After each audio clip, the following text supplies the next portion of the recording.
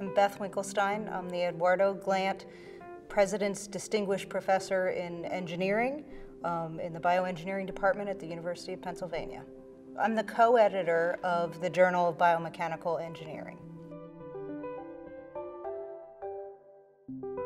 My research uh, in my lab now is focused on the mechanotransduction of pain.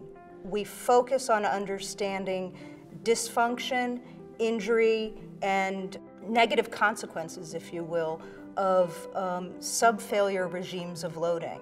So this involves tissue mechanics, this involves neuroengineering and neuromechanics.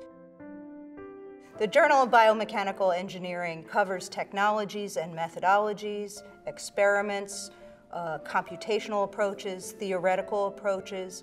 Um, really, it's soup to nuts, the body and mechanical engineering. The associate editors for our journal are absolutely imperative to the quality as well as the publicity of our work um, and our authors' work. The field of biomechanics, um, most broadly, is itself quite diverse. So it's really important that we have a diversity of perspectives. Interested authors should submit their work through the web tool. It's simple and they can check on the status of their paper.